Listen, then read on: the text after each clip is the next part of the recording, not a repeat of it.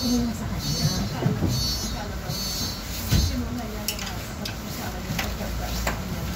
Niya. Yan ang palagi niya sinasabi. Tapos, ito naman si Mano, siya ko. May nagkaroon na ng bahay, ano na, parang ang, ito parang na tumaas ang yung ano, na ano ang content, ito ba? Parang yung parang yung parang pinilit na magdala Pero wala na kailangan. As gamer, so nga parang nagtataasa na sila ng Hindi ito nangyari kanya na ba? Gewerbepark Kagran. Umsteigen zu 87a.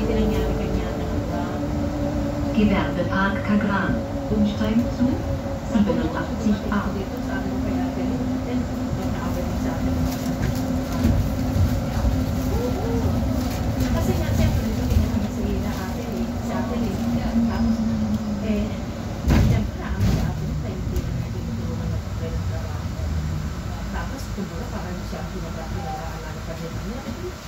Siyempre, nagpanunisa. Parang sabi niya, kapag ganitong gagawin dito, naghanap ng trabaho pala dito. Sabi niya, kaya nakahanap siya ng trabaho, umalis siya. Alam, ayos kanya anak. Wala siyang kanyang anak.